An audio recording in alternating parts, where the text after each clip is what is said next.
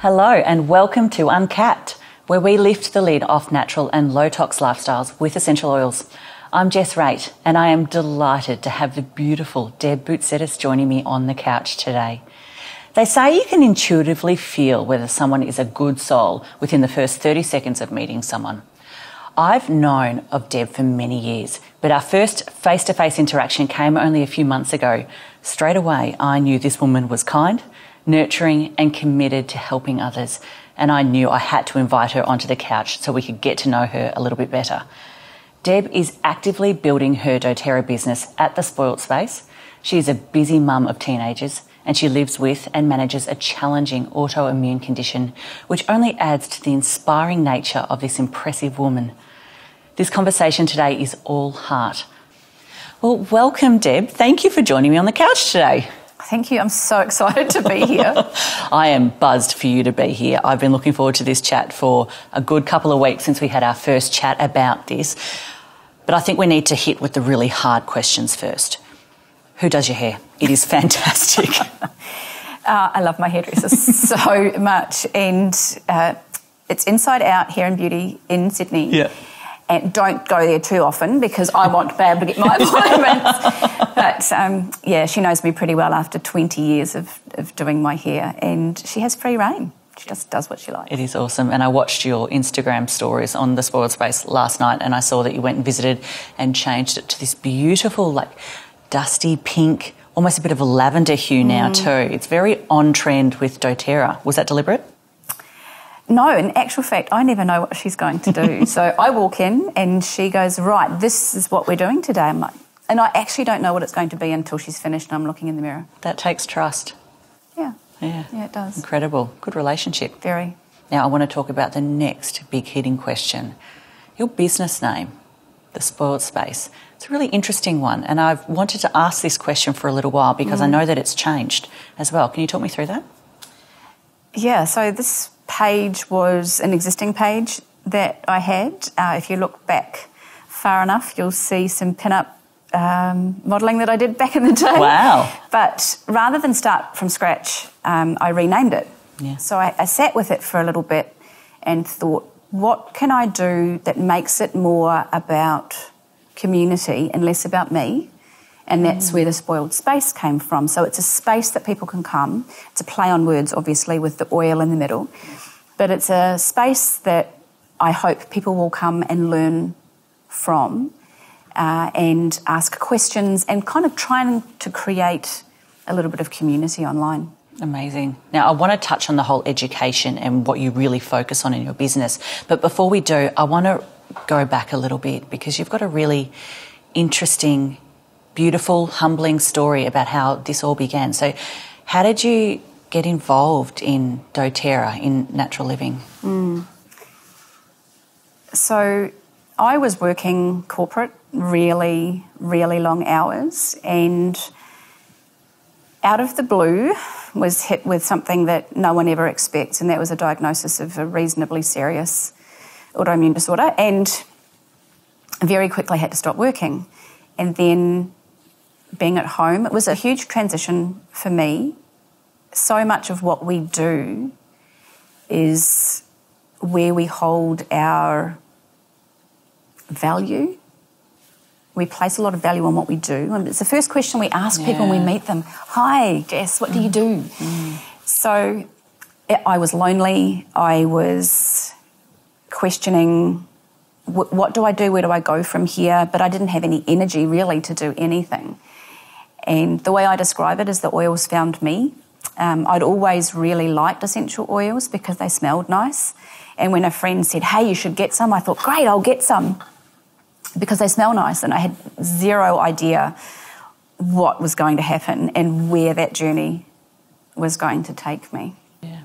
So, can I ask, what is the autoimmune condition that you have, you're working with? Yeah, I live with multiple sclerosis. Uh, why do they give it that name when we have speech problems? I don't know. so, one of my very first really major event was quite dramatic. I was driving to work and it was seven o'clock in the morning going to a meeting and I was stopped at traffic lights. I went to change as the light went green, I went to change into first gear. I was driving a manual car and I couldn't get my foot on the clutch. Jeez. It was gone. So, yeah, it was pretty dramatic. Yeah. How did that impact your home life, your, your work life, your world? It seems mm. like it was just such a fast stop to everything. Well, I didn't really have time to be unwell, and hmm. so I was going to doctor's appointments in between working. I was working really long hours. My husband was the more flexible in his his work, uh, so he would you know be the one picking the kids up after hmm. Um, the daycare and bathing them. That was just our routine at the time, and yeah, doctors in between and going to or having all these tests done. But very quickly it became clear that I wasn't going to be able to continue at the pace that I was at. Um, so the lesions, the damage in my brain affects my ability to read commercially. So I can't make commercial decisions based on written information. Uh, and that's pretty dangerous when you're working for a bank. so, yeah, I very quickly had to had to reassess my lifestyle. Was there a gap in between that part of your life pausing and you picking up essential oils? How did that Yeah, transition it- look? it- there was a good couple of years. Okay. Um, and I spent that couple of years not doing an awful lot actually and becoming really quite lonely. Yeah. So, what is your focus now? I know that you are an absolute advocate for natural living and essential oils, of course, that's why you're here. And I'm thrilled that you are. Um, but you've also got that other focus as well that you really want to be that advocate for normalising disability, normalising MS in particular, and how you can live a healthy, natural life and support your body with solutions that may not necessarily always need to come from over the counter. Can you talk me through that? How long have you got? I've got all day. so, for me, there's a couple of things for me. One is about normalising conversation. Yeah. Right? So, we were talking earlier about we, we're happy to talk about a blood nose, but we won't talk about a period. So true. Right? So, why are these subjects taboo when it makes people isolated? Yeah. right? So to be able to talk about something that you're living with, and I really like the way that you said living with rather than suffering from, because language to me is super important. So words have power, and I, I live with this. It is, I don't suffer from it. Yes, I have moments where I am, I don't feel great, but I refuse to use that language. So the other thing I want to do is create a safe space that people can come and ask questions. So to build that community sense, so that people have got somewhere to go mm. and ask questions, and also too for people that whether they're newly diagnosed or whether they've had some sort of condition for a while, but people that don't. And that want to learn and want to ask mm. questions, I'm an absolute open book. I'll tell you anything. So that's really where I want to go with that part of it. Uh, and having the natural solutions has absolutely changed the way that I live. And I'm so much better in myself because I'm now using those tools to help other people. So I've got a sense of purpose back, and that's what I was really missing. And I can just, well, we all can. We can all see how much you are thriving in this space. I mean, colour is obviously an incredibly important part of your life, as really is is. mine. and whilst you're wearing black and I've got a bit of brown on, it doesn't define us because there'll always be that pop of colour because colour brings joy. And I think you radiate, no, I know that you radiate this positivity and you're not letting anything that you might be living with behind the scenes impact your day to day. So mm. I hope you know how much of an impact you are making, not only in the MS community, but in the entire doTERRA community. So thank you. Thank you. It's sometimes you feel like you're talking to yourself. Sure. and what I'm finding really interesting is I know you as the woman that has the answers, that has the education and the resilience and the confidence to then share. You know, if we were talking about Laurel Leaf, for example, you'd be able to rattle off all the different uses, the benefits, and you'd be able to help me understand. And I think that's why your business has been so successful and you're on this incredible road to success. But you mentioned that MS has impacted your ability to be able to read commercial information and be able to mm. absorb it or regurgitate it back. Can you talk to me about how that's changed or, I guess, in terms of resilience, impacted the way you wanted to push forward in that space? Mm. So, a couple of things on that. I've had to pivot in a little bit in the way that I learn. Mm. Uh, so, I listen to a lot of podcasts now. So, I do read still. I can read, but I need to break it up. Um, so, I find it really difficult if the text is bulk. Whereas if it's smaller paragraphs, I find it really easy. So, before I buy a book, and I like a hardcover book, I don't really like to read too much on line, Yeah. I'll actually look at it and see how it's actually set out. And I'm reading a fascinating book at the moment that's luckily it's set out really well. So I'm able to follow that kind of thing. And I'll make notes as I go or I'll talk it to myself because my ears work perfectly fine. Mm. It's just the, the connection between reading rather than hearing. Yeah, right. So I find that really useful. I find oils really useful to help me with focus. Mm-hmm. Uh, and that was probably my first emotional kind of reaction for me was when I started to use Intune Mm-hmm. because I was studying design and wanted to be able to concentrate. Mm. And that was kind of like that first moment that I realised, hang on a minute, I love how oils can impact our day to day and that it's not just about diffusing and making you feel a little bit happier, a little bit more uplifting, a little bit more energized. You know, we, we get stuck in thinking that the oils just make you feel good. And when they actually start to impact you in ways that you can operate or mm. overcome challenges or, or help in a particular manner, that's incredibly powerful.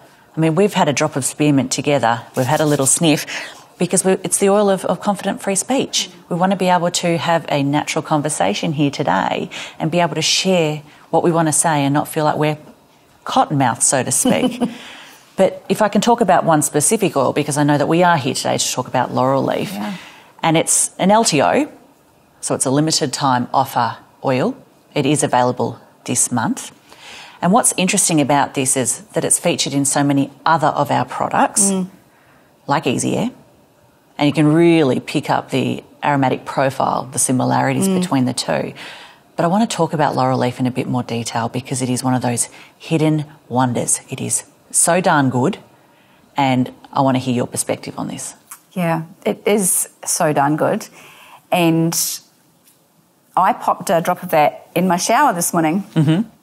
So when you pop an oil into the corner of the shower, the steam actually starts to create a bit of a kind of a steam effect with the oil, like a, almost like a steam diffuser. It's just amazing. I think people get really caught up on what does it do? How do I use it?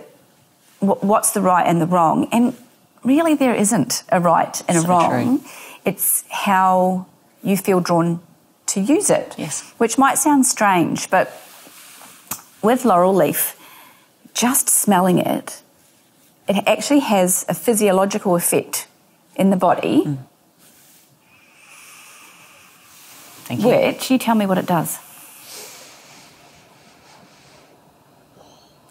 I feel clear. Exactly. Is that the right word? It's your word. There's no wrong word, right?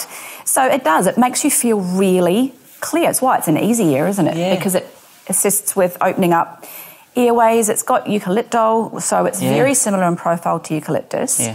So when we think about that, it's going to help us in these times where we don't feel quite so clear. Mm. And that might not be a physical reason, that might be an emotional reason too. Yeah, good point. So anything that helps us breathe yeah, is going to help us breathe, whether it's physical or emotional. totally. Right, and that's why the way I like to think about the oils as well is they all have a physical and an emotional component to them. Mm-hmm. So, what are some of the reasons why we may not breathe properly? Well, I mean, for one, it could be stress. It could Exactly. be feeling like a, a tightening and anxiety of sorts. Yeah. Uh, I love laurel leaf in the shower too, because I find that I do my best thinking in Oh, the shower. totally.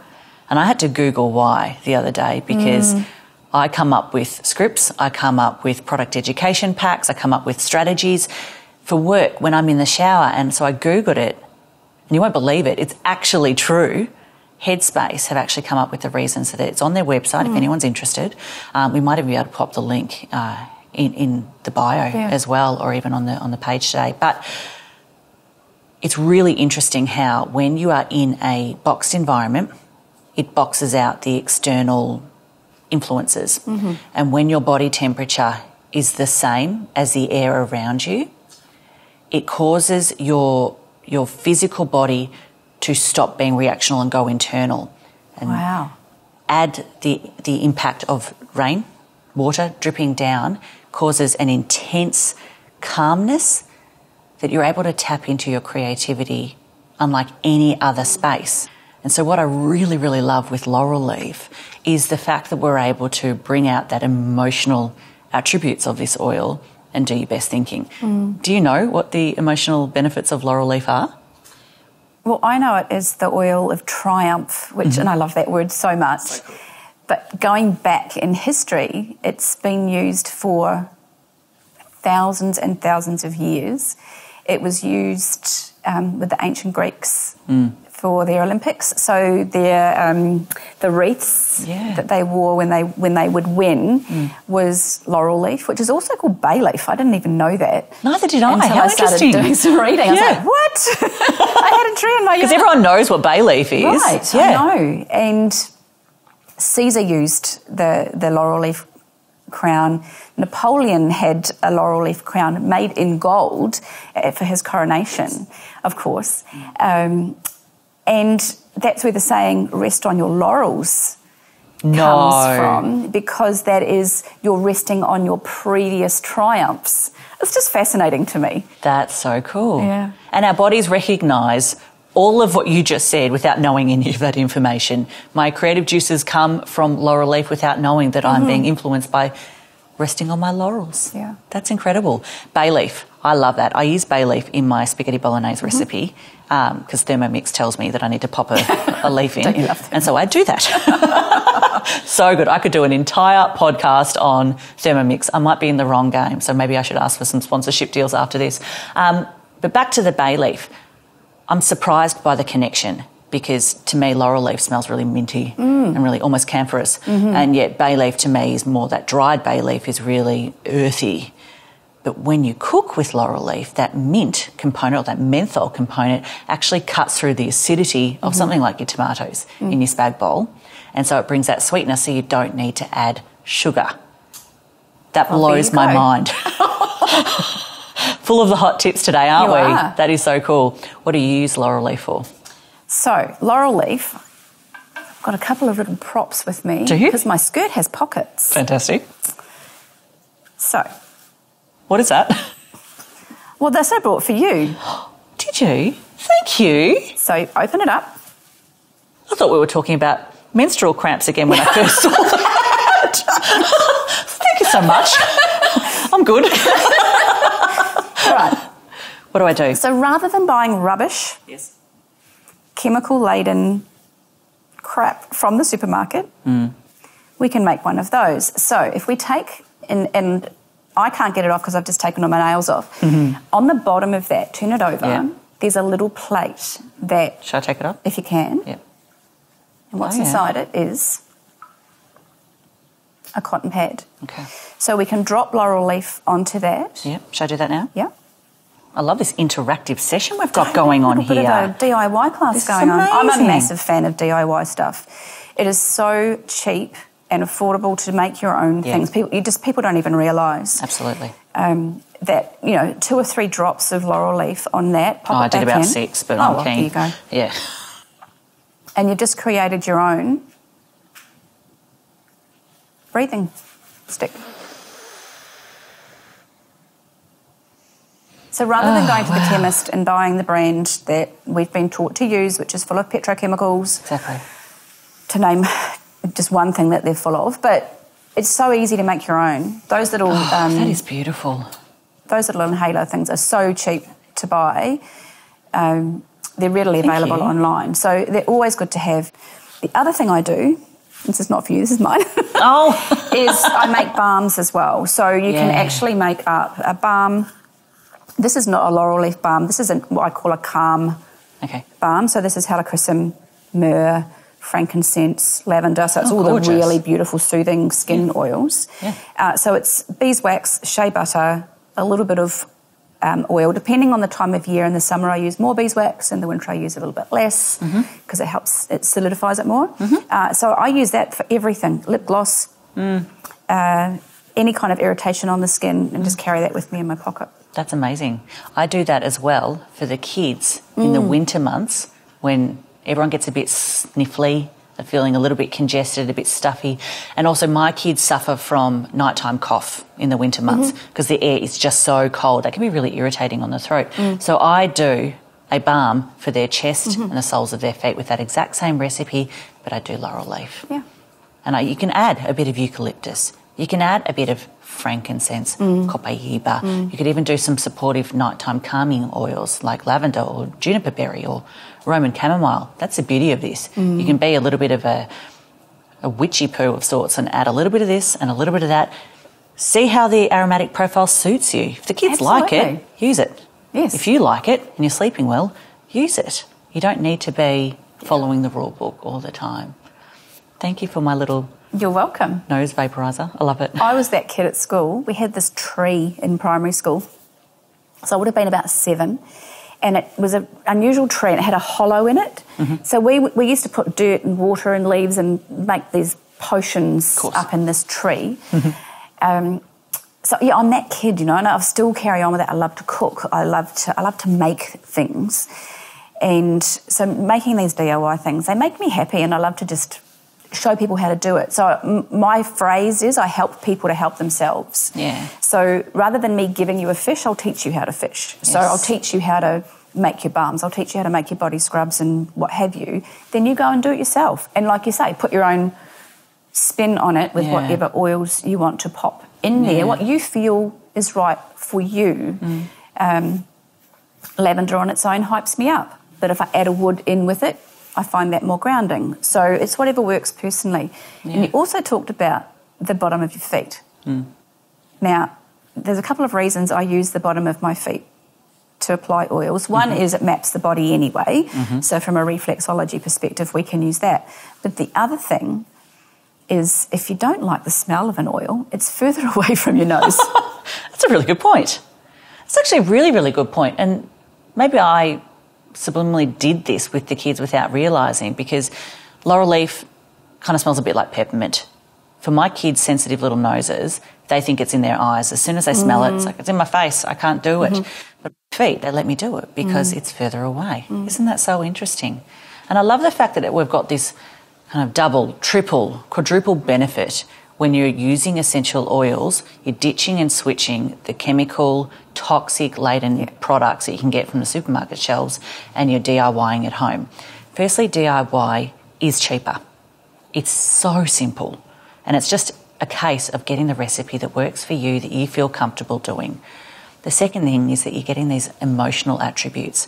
So mm. by using laurel leaf and smelling it to clear my airway so that I can breathe a little bit easier, I'm also getting the emotive attributes. So I'm getting feelings of triumph, mm. of confidence, mm. of feeling like I can do this. That for a young child, or that for a teenager possibly going through study, mm-hmm. exams, mm-hmm. what kind of impact can that make to your family by giving empowerment while also helping to support their physical needs? Yeah. You've got two teenagers at home. Do. Do they partake in your DIYs? Do they let you use the oils on them? That's a really, really good conversation. Um, I said to you earlier, while your kids are young, lap that up because they think you're the queen of everything. they think you're so amazing, you know everything, and you can do no wrong. And then you get teenagers and realise that um, they know everything. My kids are amazing, but they are not as open Sure. To applying oils. So mm. I've got a couple of little things that I do. Uh, I put oils on me mm-hmm. that, and they're going to watch this and they're going to hate me. but I use oils by stealth. Mm-hmm. All right, so I'll put an oil on myself that, and then I become a passive diffuser walking around to influence the environment. Oh. All right, so they can turn diffusers off, and I will diffuse by stealth as well. So I'll put diffusers on around the house to influence mood quite often. But they have gotten quite good at turning those off, uh, but they can't turn me off. So Oh, I love that. And I wonder if they actually cared because obviously we know teenagers don't care about anything mum and dad have to say and they will always be influenced by their friends or by social media or YouTube what's being happened. So I hope Yeah. they're watching because this is on YouTube and then hopefully they'll be influenced by this today mm-hmm. because if they knew that they were being supported physically and emotionally with those diffusers being on. Mm. So if you put laurel leaf with a bit of on guard, for example, mm. in May, June, July, we're both from the southern ends of Australia, mm-hmm. so we get the cooler temperatures in mm. winter. If we had those two products diffusing, um, would is it going to help to support their bodies through the cooler months? Yeah, it will. Totally. Is it going to help them to feel a little bit more happier and confident when the weather is crap outside and it can feel a bit depressing? Yeah, it will. We know that for a fact. So, whilst they may not be wanting to have a sniff of the, the nose vaporizer that you've made me, um, yeah, I love the idea of that passive diffusing mm. because we can still influence their their world mm. when possibly they need it the most. Mm. Mum and dads are really good at just holding the space beside them so that they can be Yeah. free to do what they want to do, but you'll always be there to help them and pick them up if they fall. Yeah. Are there any other ways that you like to use laurel leaf? Because I do want to highlight how incredibly versatile this product is. Yeah, laurel leaf is a real all rounder, Mm. and with its similar properties to eucalyptus, Mm-hmm. but it doesn't smell quite as funky. If that Yeah. makes sense, it's a bit lighter and a little bit kind of fresher. To that's the way Yeah. it smells to me, anyway. But it's incredible for the skin. So any kind of blemishes on the skin, it's just incredible. So you can actually add that into your cleanser, Mm-hmm. or even into your moisturiser of an evening. Yeah, beautiful. And the other thing that it's really amazing for is cleaning. Mm. So if you were to pop that into a spray bottle, maybe with a bit of lemon, mm-hmm. makes a really amazing surface cleaner. It would just smell incredible together with lemon, I think, too. Absolutely. It makes cleaning fun. And I say this, I swear, on every single uncapped episode that I do. But I'm obsessed with cleaning now because I've got these little friends that make it good. Yeah. It makes it fresh, it feels clean. And I know that we associate particular smells with being clean. I think that's why aisle nine of the supermarket Oh, gosh, does so well because people smell that synthetic floral aroma on their, their laundry, for example, and they go, well, you know, that means Mm-hmm. Must that it's clean. clean. But to me now, having obviously a smarter nose than others because I've been exposed to essential Mm-hmm. oils now, we know that we are feeling just that bit more empowered. Cleaning with something like laurel leaf, you know you're doing good. You're getting that natural diffusing happening. You're going to be impacting the family around you, impacting the air as mm. well, and actually cleaning the, the surfaces, which is ace.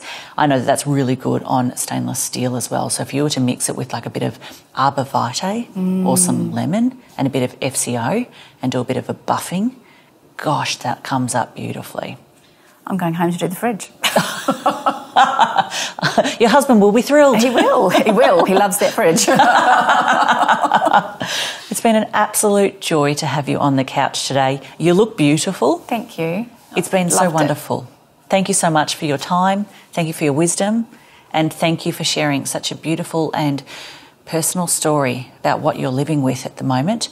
Um, and all the best. Thank you so much. Well, I hope you've found some inspiration from today's conversation to support your own well-being and make healthier choices for yourself and for your families. Until next time, bye for now.